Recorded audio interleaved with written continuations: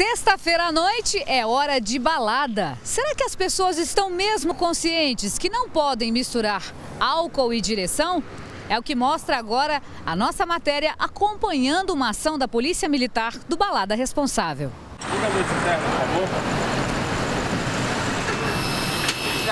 Diogo 00.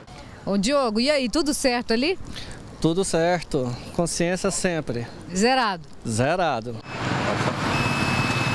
Se passou pelo bafômetro ali, zerado. É bom sair daqui feliz, né?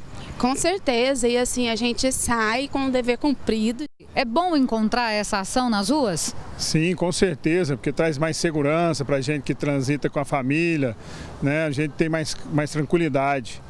Eu acredito que é uma, uma grande iniciativa. O objetivo maior é a conscientização.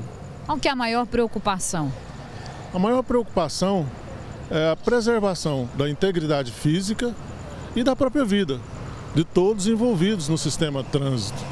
O senhor acha que houve uma diminuição nos casos? Você acha que as pessoas estão mais conscientes?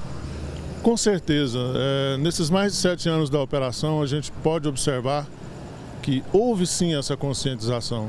As pessoas é, hoje percebem a importância desse trabalho para a preservação da vida, para a preservação da integridade física de todos. Né?